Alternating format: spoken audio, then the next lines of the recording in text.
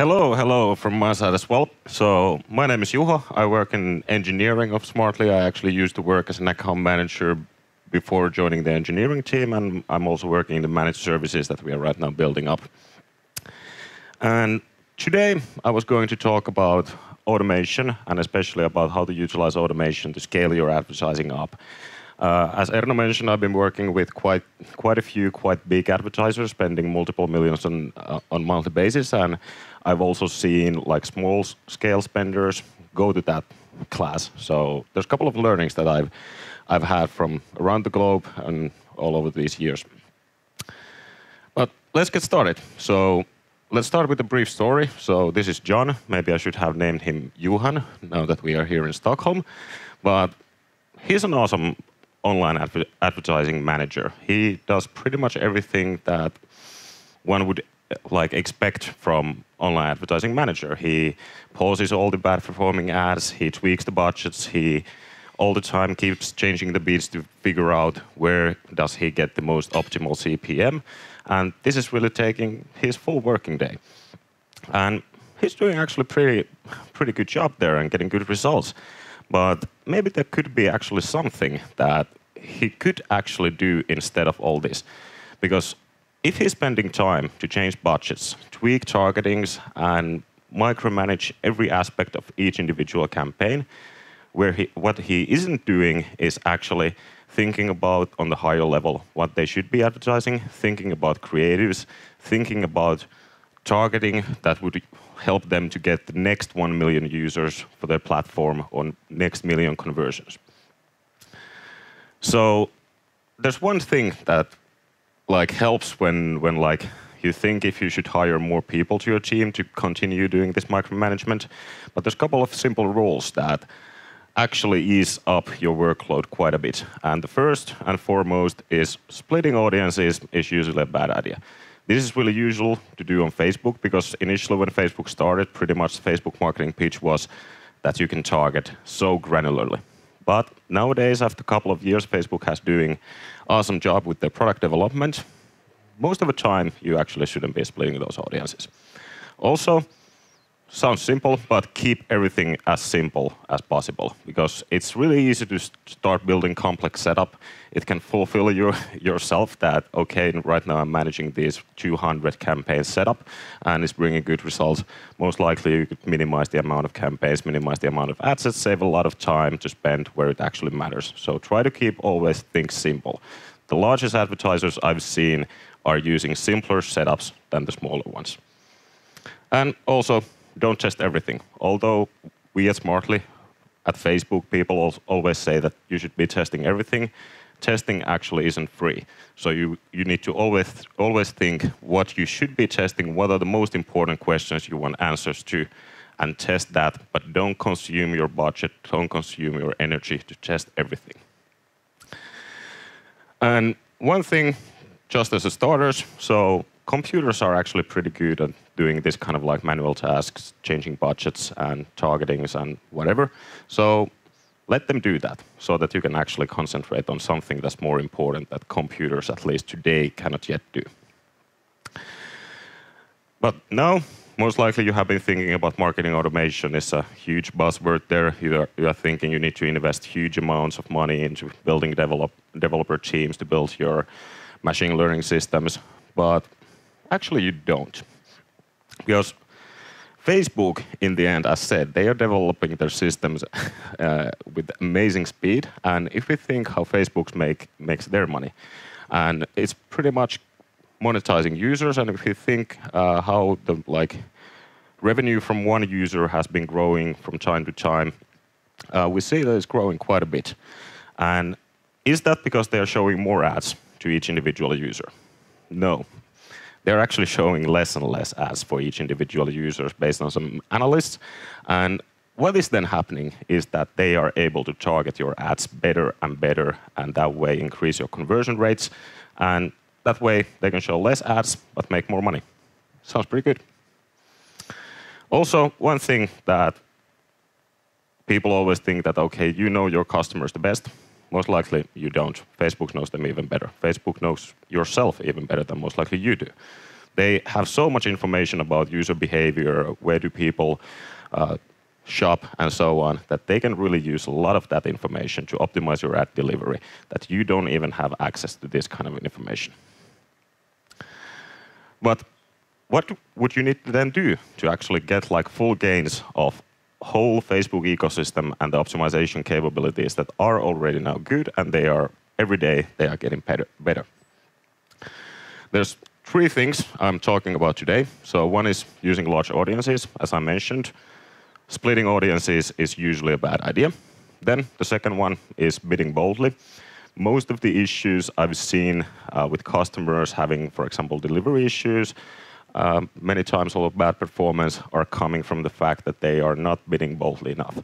And there's huge gap between, for example, Google and Facebook, where Google bid is really, really important when you do your daily optimizations. Uh, when I'm running the managed services campaigns, I'm not even touching the bid. Maybe on, once a week I might do something, but most of the time, bid is actually not even interesting to me. And the third thing is to automate as much as possible so that you can again think on a higher level, think where you can actually find the next next 1 million users. But let's start with the audiences and as said, think first before going to granular. There are still reasons that cause you to split uh, your audiences, and that's not bad, but you should always be thinking like what they are. And like the most important is that if you have audience-specific creatives, let's say you have different languages or you're uh, you're doing localized creatives, for example, each individual for each individual city, and you have a city name in a creative. Okay, you need to target each individual city then. Or there's huge difference between LTV expectations between, for example, men and women. Most likely you then want to have them in different ad sets so that you can bid according to the LTV expectations. Also, you might want to gain more learnings about your audience than what Facebook is able to provide afterwards. Facebook can tell you about like age, gender, placement, and so on. But apart from that, for example, if you want to know from which custom audience did the conversion come from, you cannot do that unless you split your audiences into buckets. And for, fourth, if you're, for example, using GA or some other third-party metrics platform, you may want to have like different UTM tags for each individual audience, and that again causes you to break break those up. But one thing you should remember is that most likely you are hurting your performance when splitting those up. So measuring is not free. So always think: is the information about from which custom audience the user came so important to you that you actually want to cause down, uh, like decrease in your performance in order to get that information. So it's always a trade-off. You, you, should think there's no right or wrong answer. I'm just saying usually splitting audiences is a bad idea, but you need to always think what are the insights you want to gain. If you can actually gain more, more performance by using, for example, highly targeted creatives, then it most likely makes sense. But this is a good testing testing scenario. This is something that most likely you want to test at some point. That if you remove targeting, what happens?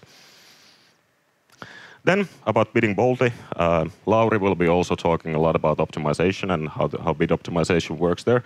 So we are actually going through this pretty quickly. But this is the usual thing that everybody who's working with Facebook is saying, bid your true value. That's pretty much the game theoretical model that comes out of like the comes out, but unfortunately, that's just not so easy. Most of the time, you need to increase your bid above your true value in order to get delivery. And Facebook is still ensuring that you get the cheapest conversions, but with your like true value, it's really hard to usually get delivery. And then you just adjust the bid according to the real results. And one thing about bidding and budgeting, this is something uh, when especially working as an account manager, I had big discussions with customers about like, what's your goal? And usually the answer is like, spend 10k a day with five five dollar CPA. But there's actually a problem with this kind of like uh, goal setting. This is not the worst example, but I think it's a pretty good example. Is that it's still kind of vague. So what would you do actually? If your CPA is lower than five, would you be able to increase the budget? Are you ready to do that? Or like, what if it's above five? It won't be exactly five in any case. So what do you do? Do you still want to spend the 10K? Do you want to stop completely? Do you want to decrease your budget? So you should always be thinking about this, especially when you think about automation. And pretty much here, so this can be broken down into two separate goals. And like with all the like goal setting, uh, I always like to use linear programming as an example. So whenever you are thinking about your goals, you should have one value that you are trying to maximize or minimize, be it CPA, be it revenue, and then you treat everything else as a constraint. So for example, get me as many conversions as possible while CPA stays, stays below five. That would be actually a pretty good goal already. And there's a couple of issues with this kind of like uh, if CPA stays below something, uh, we call them CPA or bid constraint campaigns. Uh, there's a couple of issues that may arise. So if you want to spend as much as possible while ma maintaining under $5 CPA, is that then if you just bid $5, your realized CPA will be lower than that because the maximum price Facebook is then going to offer you for one conversion is five. So you will end up lower than that. And if it's like a really, really strict goal for you, it may cause delivery issues. And delivery issues is again something that you most likely don't want to experience. So there's a couple, couple of things to take into account here. So many times the customers ask that what to do when the CPA is not on the right, right level. There's one really good thing is to use average bidding. Many times you are actually interested in average bid, uh, sorry, average CPA instead of like maximum CPA. If you want to have like five, five as the average CPA, that works usually pretty well. And also you can of course scale down, down up. If you notice that, okay, your realized CPA is much lower than your goal, and you want to spend more, okay, just increase it. Even though it would be like three times your true value, just increase it. It doesn't matter. What matters is the realized CPA. Focus on that, not the bid. The bid is just an arbitrary value. And also use the conversion window setting Facebook is right now offering. So if you know that, for example, after sign up, uh, people won't be purchasing immediately and you're bidding towards sign up, you want to use, for example, seven day or even 28 day conversion window in bidding so that Facebook knows that most of the conversions won't be happening immediately during the one day, but then they can optimize using longer conversion windows. Helps a lot with this kind of cases.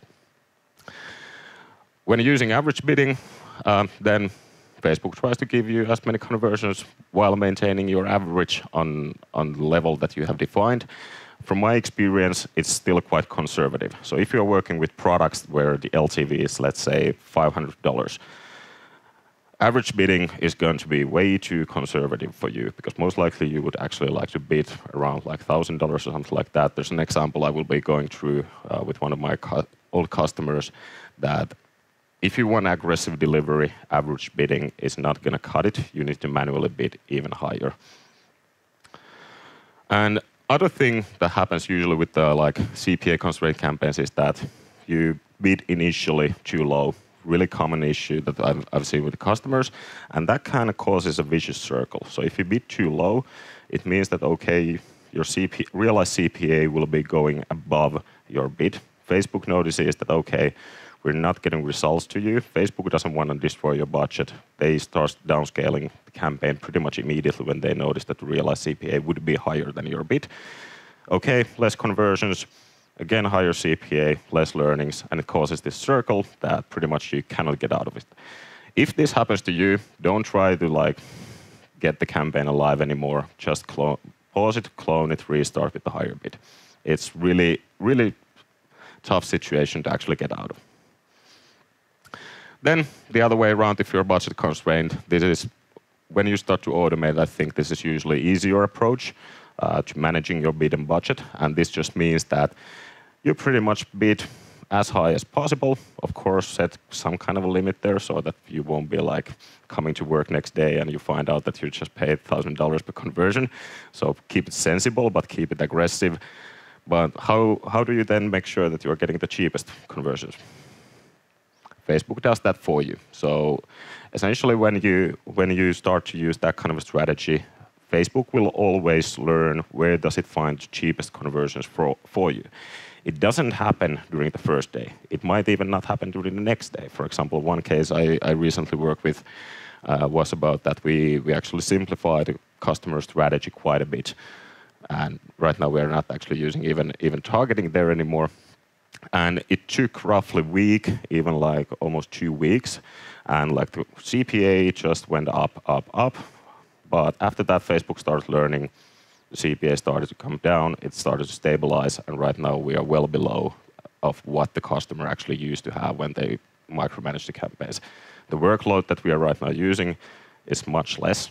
Right now, pretty much one, one guy could manage a couple of those kind of customers alone. So, and those budgets are like multi-million. So simplifying pays usually off, but it also means that you need to be patient enough to wait that Facebook learns. It's a machine learning learning algorithm in the end. But then, if we go to the third topic, which is the most important topic, which is the automation I came to talk about. So then let's move back to the goal setting because computers are actually amazingly stupid machines. They don't think, they don't have common sense. So when you start to think that you want to automate something, make sure that you know your goals really, really well because you need to tell the computer your goals exactly. Or if you just tell computer some vague goals, you get vague results, most like really, really bad results, or like you end up maximizing spend while minimizing, minimizing ROI or something like that. Make sure that your goals are clear. Before that, please don't try automating. You're just automating wrong workflows, and most likely you don't want that. Then a couple of things I've noticed. Uh, usually when I work with customers, I try to make them to automate as much as possible using different kinds of platforms. But one issue, or not, not maybe issue, uh, but one thing I've, I've noticed is that many times it's really hard for people to actually change their work workflows. Old habits, habits die hard, and when you start to automate, many people feel that they are actually losing control. If they are letting actually computer to decide what is the budget for this audience and when should this creative be on and when it should be off, many people start to actually feel that, okay, what am I doing here? I used to actually be in control of this. This computer made a decision that is actually like in conflict of what I would have done. So it's an issue. But in a sense, these computers still, because they, if they are given the right instructions towards what to optimize, they are usually actually making better decisions in the end that humans would be able to do. They also do them in the middle of the night during the weekends. They don't need holidays. So you just need to let them do their work. And of course, tweak the goals, tweak the ways of working. But also, what it means is that you start, need to start thinking on a bit higher level. So it's really easy in online advertising world to make yourself like really, really busy. You, as said, you tweak all the budgets, you do all the minor things, but in the end, you might be optimizing, for example, increasing like revenue from one ad by 5%. But if you're working with 10,000 active ads, well, there's not enough time in the, in the world that you would be able to go through them in timely manner. And then you still might be end, end, end up optimizing that one ad. But if you're working with huge setup, your goal is to scale, most likely you don't want to like increase one ad's performance 5%, but if you would be able to actually increase the whole like ad accounts or portfolios performance by 3%. In absolute figures, that would be a lot better result than focusing on one single issue. Let computers do their work. They will pause if you tell them to. They will pause the like bad performing ads and so on. And this allows you to focus on something else. Creatives is still most likely the like performance driver number one. You need to think about having different styles of creatives. Think like which creatives resonate on on which season and so on. Think about the next audiences, because by tweaking bid or budget, you may have like plus minus 20% in CPA. By finding new audiences, new creatives, we are talking in multiples. So if you need to scale up, don't waste your time thinking about some bid strategy or something like that, or you can scale up 20%. You're not ever going to scale up like 20,000%. It happens somewhere else. And getting to the scale, as said, I've been also seeing quite a few cases where small players become really, really big players. And what that requires, again, is to understand that even though everybody competes in the same ad auction, small players and big players behave quite differently. Because if you are, for example, a global brand, you most likely don't want to target two individually. You want to reach everybody in this world. A couple of our customers, uh, when I when I used to work in the United States, and we, we started like asking questions that who, who do you want to target? Like who's your target audience? The whole United States. That's it. There's no targeting happening anymore. You are working with big, big budgets, big audiences, and same in like Nordics. It doesn't mean that you need to be in multi-million scale, but if you want to scale up from like having $10,000 monthly budget to let's say 100,000, it requires you to start to think like these bigger competitors do. And also, one thing I noticed also by myself is that when you start to work with these bigger budget, bigger audiences, many things you used to do are actually going away. You won't be anymore like tweaking the targetings because many times there's no targeting to tweak. You are targeting the whole country or even like really, really large lookalike. With the bid, well, you're most likely just bidding high enough to get enough delivery and then you are controlling everything by budget. So what you should be then doing is again, think about creatives, think about, for example, if if there still could be some like tiny audience that you haven't haven't yet known. And but with the targetings, we did a test uh, like a while ago uh, with one mobile app-based company, and we tested how did lookalikes and no targeting perform against each other. What was really interesting is lookalikes is still my number one answer when customers ask, like, what kind of targeting should I be using? It's lookalike. But when we actually ran this test, uh, it's good to notice that these guys were like one of those who say that the whole world is their market. So this won't be working for everyone, but as an example, with the lookalike from their existing users and without any targeting, just the whole country, the CPA was pretty much exactly the same. No, no big difference there. But the broad audience was able to deliver 3.5 times the conversions than the lookalike with the same CPA and without any hassle of modifying the targetings. So this is, I think, one of the greatest examples of like how can you actually improve your result by going to simpler direction, not towards more complex setups. And I've also seen big companies that try to do like really, really complex setups and try to use these like growth hacker techniques. I think the funniest one that I've heard uh, during last couple of weeks was that the campaign performs the best when it's launched the fourth time. So I started thinking maybe we should build a feature that launches campaigns four times. might be might be good, but in the end, you most likely don't want to chase those. It might be true. Uh, Lauri will, will most likely also explain why that might be might be actually working. I believe it's working, but those change. And if you want to build scalable and long, long-running campaigns that work from week to week, from year to year, it's pretty much waste of time trying to find these like anomalies that might exist for one month after which Facebook changes something and they don't work anymore. If you're a growth hacker working on minimal budgets and your like goal is to figure out these kind of tricks, by all means, do that. But if your plan is to build scalable advertising, don't. And as I mentioned, uh, I will talk about one example here, uh, BarkBox. I used to work with them as a US-based company selling dog treats as a subscription service. And when we started to work with them, they pretty much every weekend they were up up on the business manager managing all the aspects of campaigns. And what they are right now doing after they started to use us is that they manage everything using automation rules. So instead of going to individual campaign, pausing something, what they do is they create sets of rules that pause ads, increase budgets, change bids, and so on. And when they want to test something new, they change the rules, not the campaigns.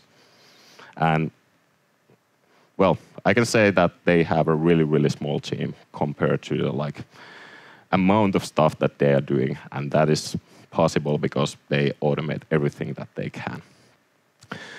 So as a last thing here, a couple of like ideas what to automate. Everything is of course automatable when we are working with computers, but every regular action, changing bids, pausing something, creative, like you can you can rotate creatives automatically, not too hard.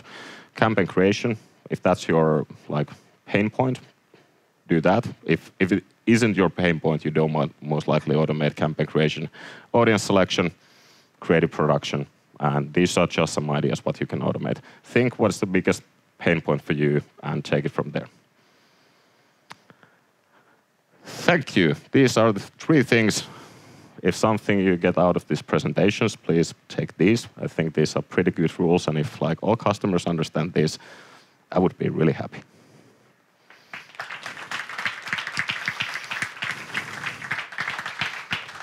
And did we have some questions? Yes, we do. Thank you, Juho, and thank you all for the questions.